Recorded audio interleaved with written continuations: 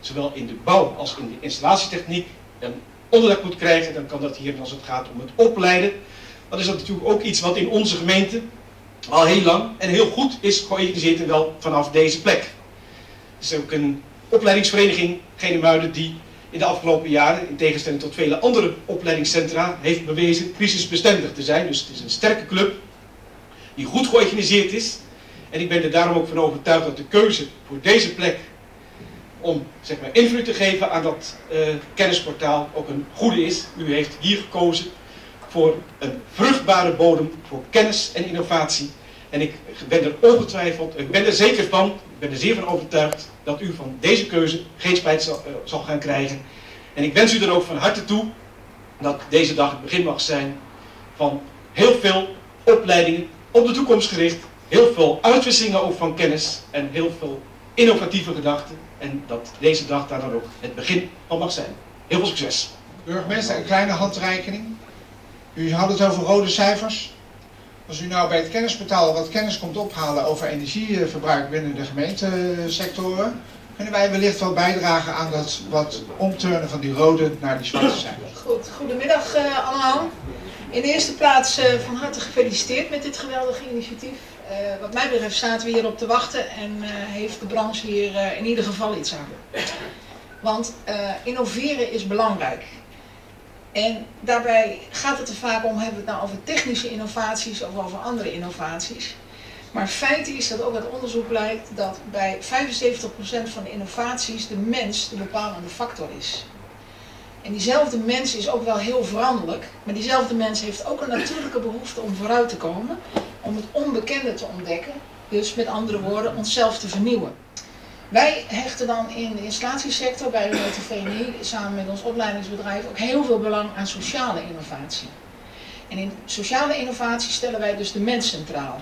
En dat is, dat is de mens als ondernemer, als consument, bewoner, huurder, en wij, wij geloven daar heel erg in. Wij doen daar ook heel veel aan. Wij gaan heel veel in gesprek met ondernemers. Om met ze in gesprek te komen over de vraag: wat ben je aan het doen? Waar ben je mee bezig? Welke keuzes maken? Welke keuzes kun je maken? En wat voor consequenties hebben die keuzes? Zo goed uh, klikt, want ik zie allemaal mensen enthousiast met elkaar in gesprek. En uh, ik zie uh, toch een bepaalde verbondenheid ontstaan. Ik zie ook een bepaalde warmte in de zaal. En dat komt, niet, komt niet alleen van buiten, maar dat komt ook van binnen, denk ik. Dus voor dat betreft is het eigenlijk al een heel goed gebeuren. Gaan verder met het programma. Ik heb eigenlijk alleen nog even twee inhoudelijke mededelingen over de rest van de middag. We hebben twee workshops. Eén door Henk Wegman. Zeg Wegkamp. Sorry Henk. Ja, ik ben, ik ben daar niet zo heel erg goed in. Ik probeer het steeds, maar... En door uh, Theo, van Okhu Theo Okhuizen, niet van, maar Okhuizen, want dat ouderlijke, ouderlijke was iets anders. Henk die zit beneden in het, uh, zeg maar de ruimte hierachter. Die hebben we opnieuw ingericht, een perfecte ruimte. Ik denk dat jij daar goed zeg maar, tot, je, tot, tot je recht komt. Theo, jij zit boven, als ik het goed heb, in een van de ruimtes. Dus de mensen die met jullie zeg maar, in, samen in die workshop of in die workshop willen, die zullen dan de keuze moeten maken of ze de trap afgaan of hier gewoon blijven. Dus is onze volgende spreker aangekomen, meneer Lievers. Heb ik goed, hè? Ja. ja. Ik wilde de voornaam al zeggen, maar ik dacht, ja, misschien, we kennen elkaar nog niet zo goed. Misschien moet ik dat even laten. Maar dat doen we aan het eind van de middag vast en zeker onder een borrel wel. wat we uh, ze graag willen horen van de provincie is hun visie rondom uh, zeg maar het leren en zeg maar, de duurzaamheid binnen de provincie en welke activiteiten daarvoor staan.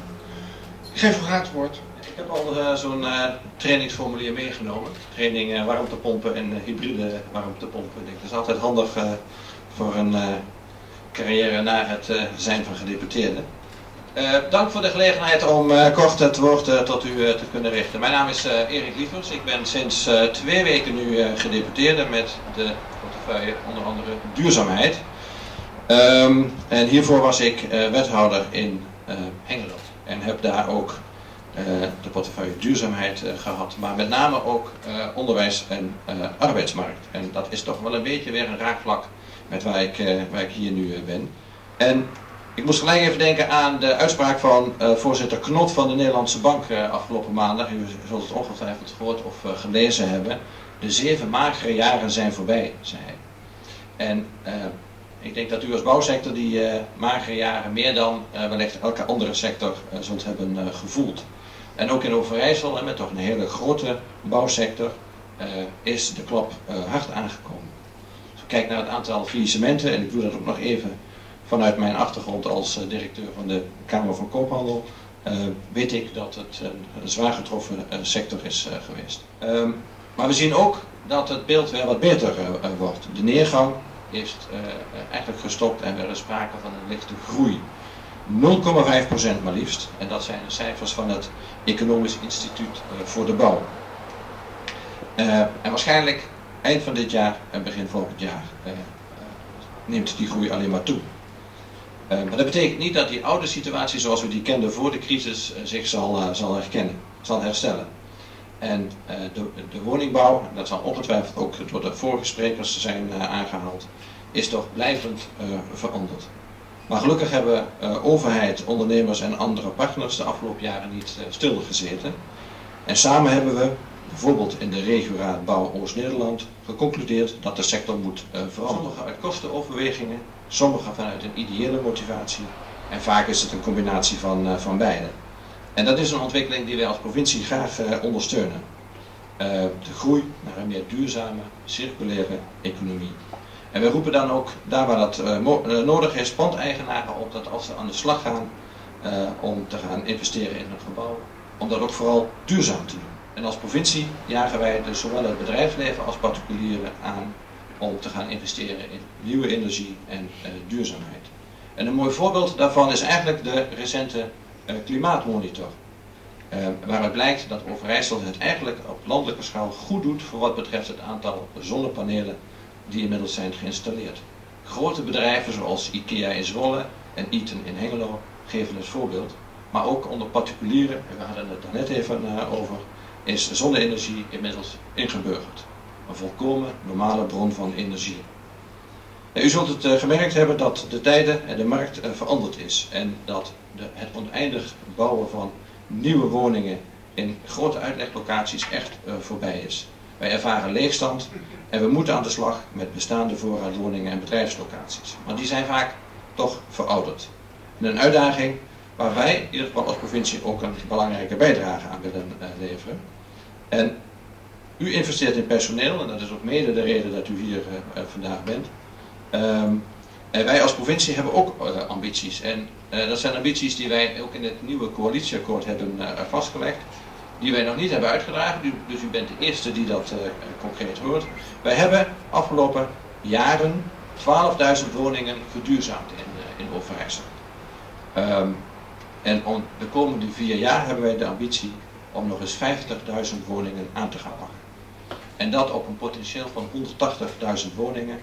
Uh, dat betekent dus dat wij als provincie die al voorop lopen, nog veel meer voorop eh, gaan lopen. En dat is ook absoluut de ambitie van dit college, om u daarbij te helpen. Uh, niet alleen vanuit duurzaamheidsoverweging, maar natuurlijk ook vanuit werkgelegenheidsoogpunt. Kortom, wat ons betreft, voldoende werk aan de winkel. En de duurzame renovatie is de belangrijkste kans, ik gaf dat al even aan, voor uw sector en ook voor ons als provincie. Tot slot, ik wens ik de initiatiefnemers, en dan kijk ik toch een beetje naar u, ik weet niet of dat terecht is, maar uh, veel succes met het, uh, het uitbouwen van dit opleidingenpakket. Ik heb daar al even gezien wat er allemaal wordt, wordt aangeboden. U laat in ieder geval wat mij betreft zien dat u voorop loopt in de ambities voor de verduurzaming in de bouw- en in de installatiesector. Daar wens ik u heel veel succes mee. En eh, ik wens u heel veel plezier in de workshops eh, die zo meteen gaan komen. Dank u wel.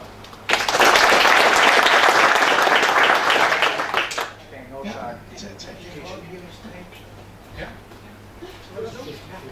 Ja? Ik help jullie graag. Ja, ja. Want, stel, ze, ze willen allemaal met u mee, dan moeten ze straks allemaal van mij. Ik weet niet, ik weet niet, En dan zit jij gewoon een half uur niks. ik weet niet hoe je erbij zit, want we hadden een kwartier voorsprong, hè, dan willen jullie een kwartier achterstand. Ja. ja. Zullen we gewoon uh, zo de groepen gaan delen en dan gaan we straks later gewoon switchen? Ja, dat is idee. Ja, trek hem hier even. Ja, dan gaat uh, deze groep blijven. mee met... Uh, Bij mezelf. Um, ik wil graag met jullie uh, de workshop ondernemen is wegen alles is energie gaan doen.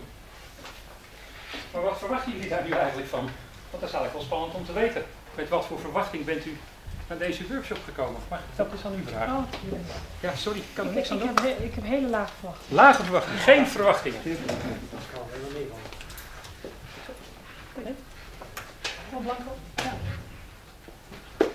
Uh, nou, ik, de reden waarom ik hier kom is met name om te kijken hoe we met elkaar een stukje samenwerking gaan vinden als het gaat om duurzaam bouwen. En uh, uh, met name het begrip duurzaam, wat, wat bedoelen wij daar eigenlijk met elkaar mee? En ik hoop dat dat ook hier in de workshop daar naar voren in komt. Samen? Met name het samenwerken. met elkaar. En energie is goed, dat wordt al gegeven, dus dat wordt wel voorgezet. Ja, energie, dat verwacht je dat je met een lach uh, naar buiten gaat. Uh, okay. dus, Energie is voor u lach. een lach. Ja. ja Mooi. Nou, dan gaan we die proberen vast te houden. Want ik hoop dat mij dat gaat lukken. Uh, ik zou jullie eigenlijk vandaag langs, langs die dingetjes mee willen nemen. Want ik heb maar drie kwartier tijd gekregen. En daar heeft de vorige spreker een kwartier van opgesnoept. Dus op de een of andere manier moet ik nu een kwartier goed maken. Dus ik heb een half uur tijd. Nou, uit, ervaring weet ik dat, uit ervaring weet ik dat als je bij mij een kwartje ingooit, dat ik vijf uur nodig uh, heb. Dat ik vijf uur kan spelen. Dus volgens mij gaat die drie kwartier wel lukken. Maar ik heb van Sandra begrepen dat als we een kwart over vijf stoppen, dat het goed gaat. En dan gaat de volgende rust. Dus omslag in bewustwording. Maar aan de andere kant weten we ook dat we al heel lang dezelfde dingen doen. En we horen allemaal nieuwe dingen. Dus ik zou het ook een beetje over verandering in gedrag willen hebben. Want uiteindelijk is het allemaal heel leuk praten over duurzaamheid.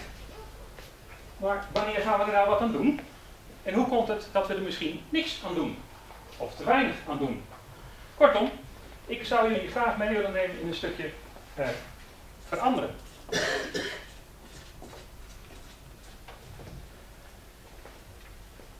En ik wil jullie wat tips en tricks geven misschien wat handvatten. Want het is natuurlijk altijd wel leuk als je een verhaal gehoord hebt. Dat je weer eigenlijk denkt van oké, dus als ik daar en daar weer aan de slag ga, dan ga ik waarschijnlijk mensen of in beweging brengen, of ik ga met nieuwe technieken aan het werk, of dan gebeurt in ieder geval wat. Want inspireren is leuk, maar is niet duurzaam. Hè? Want inspireren, dan gebeurt het nu, dan loop je de deur uit en dan doe je vanmiddag of morgen weer hetzelfde wat je gisteren gedaan hebt. Dus volgens mij moet er ook iets in zitten van een handvat van wat ga ik morgen nu anders doen? Jij, jij, wat ga ik anders doen? Wat Kortom, daar ga ik jullie ga ik meenemen en ik hoop dat dat kan.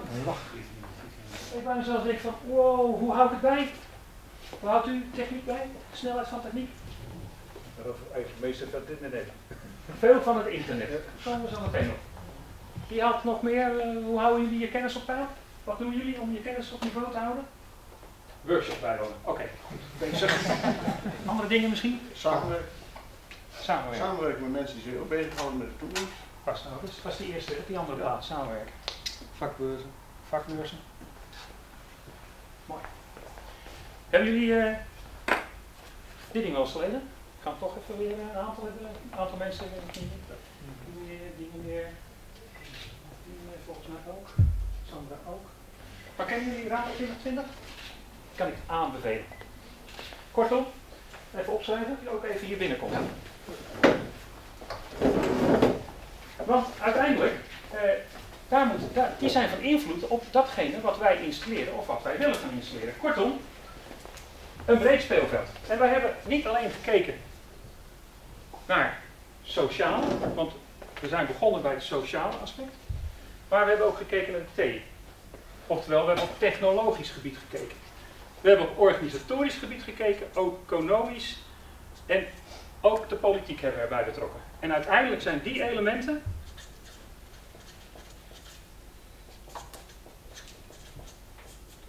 meegenomen in dit document. En die kiezen we zo bij elkaar dat het gebouw altijd gezond en comfortabel blijft. Als je dat niet doet, hebben we de hele renovatiecurve, die breken we zo af. Want wat desastreus is, is dat buurman even vertelt hoe waardeloos zijn huis geworden is. Nou, dat kunt u wel vergeten met een nieuwe klant. Dus dat moeten we niet hebben. En dan zien we hier een overzicht. Ik heb hier even zo'n overzicht uh, liggen. Voor degene die jullie wil hebben. Dan zie je de stappen die je zou kunnen doen. En wat het betekent met je woonlasten. In het begin doen we kleine stapjes. En aan het eind zie je de grote stap die we doen. En dat dan de woonlast afvlakt. En het wonen veel goedkoper wordt. Dus dit zijn, het hoeft niet zoveel stapjes te zijn. Het kan ook één stap zijn. Maar het is altijd een stap die geïntegreerde oplossingen vergt. En wat ik hier gedaan heb, zijn altijd stappen, dat noemen we zogenaamde no-regret maatregelen. Dus maatregelen waar je nooit geen spijt van krijgt. Dus niet zeggen, ach, ik ga op de bovenverdieping even dubbel glas plaatsen. En dan gaan we in deze stap willen we naar nul energie. En nu moet dat dubbel glas weer eruit en dat gooien we weg, want nu moet het triple glas in. Nee, alle maatregelen die genomen zijn, zijn maatregelen die altijd kunnen blijven zitten. Ook in het einddoel. Om een voorbeeld te geven. Ik begin in een bestaande woning en iemand zet er een HR ketel in. Want dat scoort goed in de EPC-berekening en in de indexberekening. En die moet er hier weer uit. Want een nul-energiewoning die heeft misschien helemaal geen HR ketel nodig. Ja, dus we moeten dat integraal benaderen. Dit is ideaal. Hoogwaardig gebouw met de juiste energiezuinige techniek. Want hè, de techniek moet je vervangen, dat is ook niet erg. Je ziet dat mooi in die grafieken terugkomen. Dus je ziet een keer de vervangingsinvestering die daarop gereed. Nou, ik, ik noemde het al even de certificering. Waar ligt tegenwoordig de behoefte in de markt? En de verzekeraars die springen daar nu al op in. Wij willen dat 0 op de meter, want dat is toch wel een term die behoorlijk 0 op de meter wil overigens niet zeggen dat je geen energierekening hebt. 0 op de meter kan betekenen dat je gewoon een energierekening hebt. Want het kan zijn dat jij op een ongunstig moment stroom verkopen en dat jij op een ander moment de stroom teruglevert. Ja, en je kunt wel eens meer terugleveren dan dat je gekocht hebt. En daar krijg je niet hetzelfde bedrag voor terug. Tegenwoordig is er een wettelijke. Dus 0 op de meter betekent niet dat je geen energierekening hebt. Nou, en wat we nu, waar we nu mee bezig zijn, dat is, en daar worden de pilots eh, mee gedraaid, dat we integraal gaan opwerpen. Of adviseren bij de dat kunnen adviseurs doen bij de architect. We gaan integraal ontwerpen. Dan kun je een certificaat krijgen. Een onafhankelijk certificaat. Dan gaat de aannemer en de installateur gaan bouwen. Dan komt er toetsing op de bouwplek. En voldoet dat ook. Dan krijg je certificaat van de uitvoering. En dan zegt een woningborg of een RDK, dit ga ik verzekeren. En dan heeft de consument verzekerde renovatie. Dan gaat het wordt de pilots mij er zijn gesprekken voor. Als je dit wil doen, zij willen dat verzekeren, dan moeten wij met elkaar in die uitvoering precies van elkaar weten wat we doen. Er zijn dus wel nieuwe opleidingen nodig. Er zijn vakmensen nodig. Dus dit vraagt de toekomst. Maatwerk, integrale aanpak, nauwkeurige uitvoering, hoge kwaliteit, onderschat dat niet een steen laten vallen in een ongeïsoleerde spouwmuur, komt nooit iemand achter. Een steen laten vallen in een spouwmuur met een RC van 10 levert waarschijnlijk een schimmelplek op aan de binnenkant. Omdat dat de enige koude plek nog blijft die En schade veroorzaakt. Dit is mijn laatste sheet. Waar, en, en waar nou de toekomst om? Wat, wat bedoelen we hiermee? Nou, wij hebben in de bouw, en, en dit kennisportaal is een heel mooi voorbeeld van hoe de verzuiling ophoudt. Maar we hebben natuurlijk in onze Nederlandse bouw een behoorlijke verzuiling. De timmerlieden zaten altijd bij elkaar en die leiden elkaar allemaal op. En de installateurs zitten bij elkaar en daar zitten we op te wachten. Dat de loting, de elektricien, verstand heeft van luchtdicht bouwen en weet wat hij wel en niet mag doen.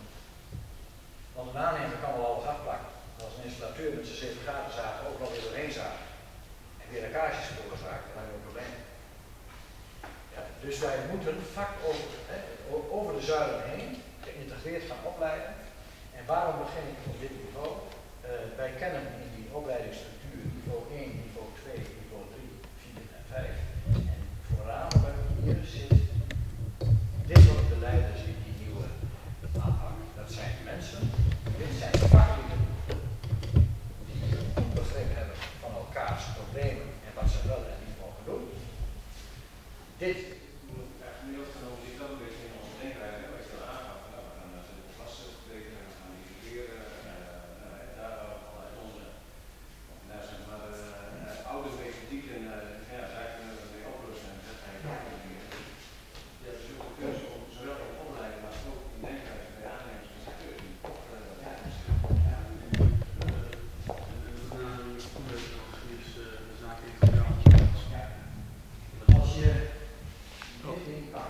zie je dat. Hè?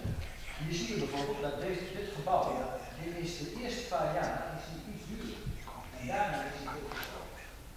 Ook de levens is heel groot. Dit, dit kruisen